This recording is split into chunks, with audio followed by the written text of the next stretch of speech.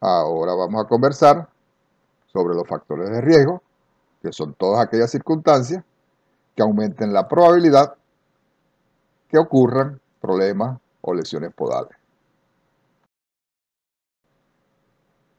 Los factores de riesgo están enmarcados dentro de esta triada. Hombre, ambiente, animal. Y dentro de los animales no son exclusivos de ninguna raza. El factor humano resulta decisivo como factor de riesgo en las enfermedades podales, ya que es capaz de controlar casi todos los demás factores. En cuanto al propietario, no necesita tener un almacén lleno de medicinas para decir que tiene resuelto un problema podal. Sobre todo si en ese almacén hay mucha tilosina, y es lo que yo he llamado la tilomanía. La utilización de este antibiótico en, la mínima claudicación sin revisar al animal. En aquellas fincas donde los propietarios subestiman el problema, habrán mayor cantidad de, de, animales enfermos de las pezuñas. Igualmente, si tiene cierto conocimiento de podología, abordará mejor el problema y tendrá menos animales enfermos. En zonas donde los colegas veterinarios estén sensibilizados con el problema podal y tengan una formación extra en podología, seguramente en esa zona habrá una menor prevalencia de enfermedades podales. También es muy importante la motivación del personal de la finca, el personal de apoyo, sobre todo en el traslado y movimiento de los animales, ya que se le debe permitir a las vacas una locomoción espontánea y no arrearlos de manera violenta, ya que eso no es una competencia de Timpeni. Un arreo violento predispone a los animales a sufrir una claudicación. El primer factor de riesgo que le quiero mencionar inherente al animal es la predisposición genética. En este trabajo de la doctora Risi reportó para el ganado carora una heredabilidad de 0,03, la cual se considera muy baja. Y para los miembros posteriores vistos de lado, la heredabilidad fue moderada de 0,21. Estas características son muy importantes en la conformación de la pezuña y en la locomoción, y una falla de ella nos puede llevar a que los animales sufran una lesión podal, como lo, mencioné cuando hablamos de la fisiopatología. Hoy en día, en todos los índices genéticos de los toros que aparecen en los catálogos traen esta información muy importante para que sea considerada al momento de los apareamientos. Otro factor de riesgo inherente al animal es el nivel de producción de leche. La intensa selección genética y la presión de selección hacia la producción de leche da como resultado muchos cambios fisiológicos en estas vacas altas productoras las cuales forman el grupo de mayor riesgo para sufrir claudicaciones. Otro factor de riesgo propio del animal y que el hombre no puede controlar es la fase o la etapa en que se encuentra la lactancia de la vaca.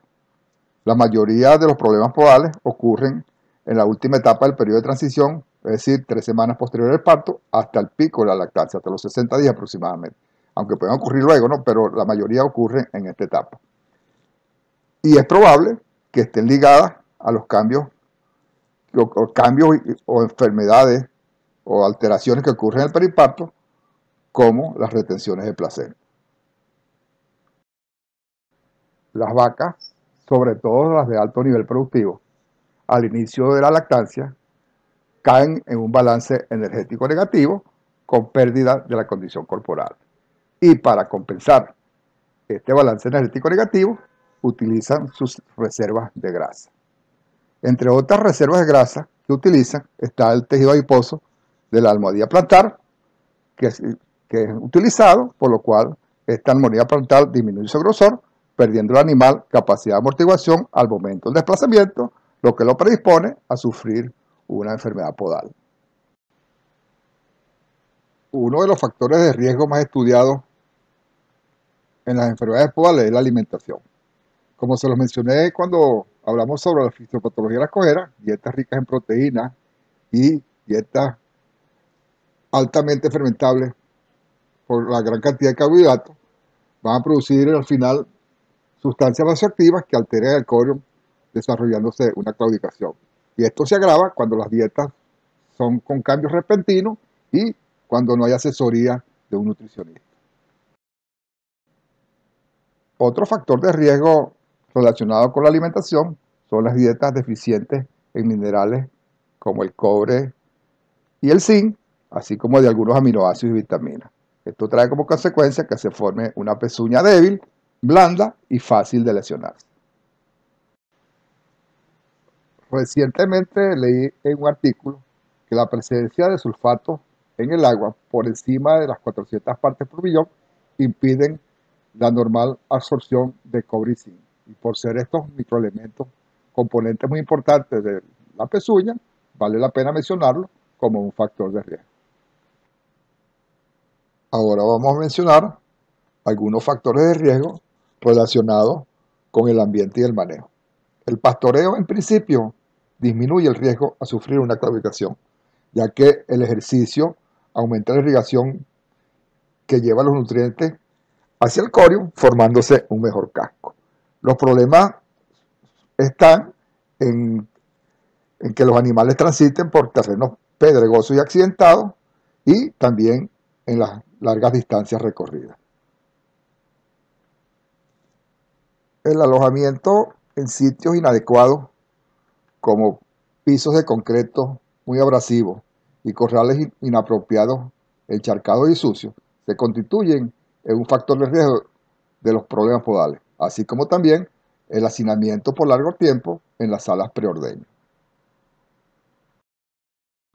El principal enemigo de la pezuña es la humedad, porque está constituida por esta proteína denominada queratina, que tiene una elevada capacidad de absorción de agua, lo que lleva a una separación de la estructura de la queratina con un reblandecimiento de la pezuña. Afortunadamente, este proceso es reversible, pero si seguimos manteniendo los animales en zonas húmedas, los predisponemos a que sufran las enfermedades podales.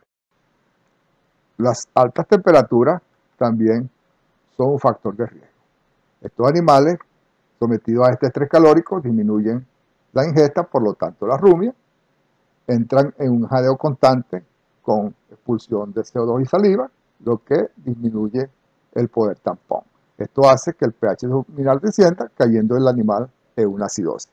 Esta acidosis a su vez va a producir muerte de los microorganismos ruminales, los cuales producen unas toxinas que tienen efecto vasoactivo, las cuales van a producir una alteración de vascular a nivel de coro, produciéndose la pododermatitis, también denominada laminitis. Un último factor de riesgo que le quiero mencionar es la relación que tienen las enfermedades podales con otras enfermedades, como las vesiculares, estomatitis y fibractosa, también se han relacionado a la diarrea viral bovina y a la matitis focoliforme. Y como se lo mencioné anteriormente, cuando hablamos de la fase de lactancia como factor de riesgo, también se relaciona a las retenciones placentarias. Como pudimos ver, la clasificación de una vaca depende de muchos factores de riesgo, donde el factor humano es un factor decisivo porque controla casi todos los demás factores. Y por ser este factor humano diferente en cada explotación, la presentación de de las enfermedades podales está estrechamente ligada a cada explotación y a sus propias condiciones. Y para disminuir esos factores de riesgo de los que hemos hablado y por ende disminuir la prevalencia de las enfermedades podales, ahora vamos a hablar sobre la prevención y el control de las enfermedades podales.